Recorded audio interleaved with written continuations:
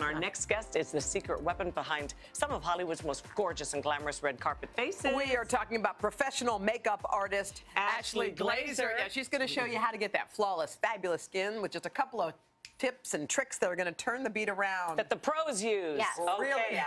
All right. So smudgy eyeliner Yeah, is so an issue at times. It happens to the best of us, and sometimes we can't right? just get. Yeah, Yeah. sometimes it smears. Sometimes you just can't get that perfect cat Uh-huh. eye. So I like to use an eye cream. I look for a gel formula because it doesn't leave a greasy residue on the skin, Okay. and it's gentle. And get the dual-sided Q-tips, especially ones one with with the the point. edge, yeah. so you can just quickly wipe it away, and then you get that even hard edge, and it's safe for the eye area. Okay, So you that's can pretty even it simple. out. Yeah, Looking good. Simple. simple, easy, and we all have that at home. Is today the last day of your internship?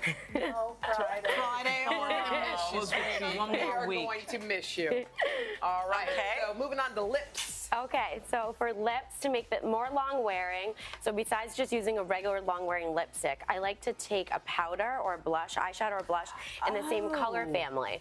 So we've seen that with translucent powder, but it's fun to do it with a similar color. So we've done red, now we're using a hot pink, and it just sort of makes the density of the pigment a little bit deeper. I'm sorry, I'm Oh. confused. You put that on first and then So, the no, so she already had a little bit of the lipstick on Leave before because it's sort of faded Yeah. from earlier. Add and the then you'll put a little powder, Will it make it eyeshadow or stay a little blush. It helps it to stay a little bit longer, and then you do another coat of your lipstick. That's so kind of like an alternative to the translucent powder trick, Okay. Yeah. but the eyeshadow adds a little bit more Of color. that color. Gives you staying power. Yeah. Very Smart, pretty. Very smart. All right, what if sadly we have a blemish? Oh, All right. Do you have oh, one? Otherwise known as a zit. Did you make that one? You didn't really have it. No, I didn't. No.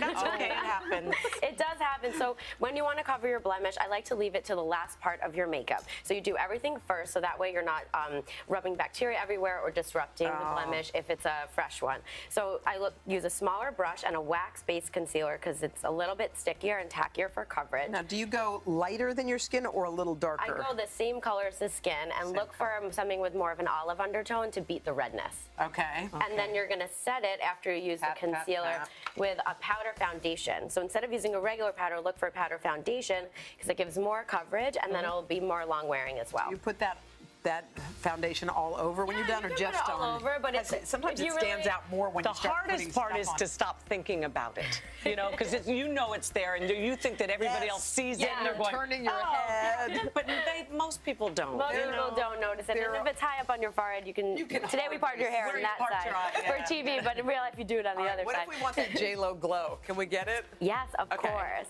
So I love Illuminator and I love a bright complexion. So midday, just a trick, you can take um, equal parts of your liquid concealer and then your Illuminator and you sort of mix them together. This is like something you can quickly do in the car right before you leave work to help to brighten up the skin. Where do you put it? So you put it in the center, ooh, in the center of the Right face, kind of the hot spots, under the eyes, around the nose, wherever you instantly want to brighten, just to give you that really fresh It look. does, Like yes. if you didn't have time to wash your face before work and then dinner, it's like a really quick thing that you can do. That's so smart, right in the car. It does Something I very do J.Lo every day glowy. almost. Fantastic. And let's go to the end. All yes. right. What's in here? Okay, so this is just your essential makeup bag. Things that I always like to keep. I love to keep a setting spray. You can use it to refresh your face throughout the day.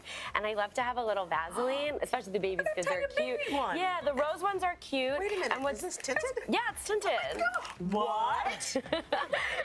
So it's great because you can use it kind. You can use it as a cheek tint, eyes, lips, brow gel, hair slick, and then if you have So um, a lip liner or something where you lose the caps, you can always sort of rub it on your hand, take a dab of your Vaseline, and then Mush you kind of can create another can- lipstick or even like a cheek tint, just really quick and on the go. smart. Really, Really good stuff. All right. Thank you very much. Thank you guys.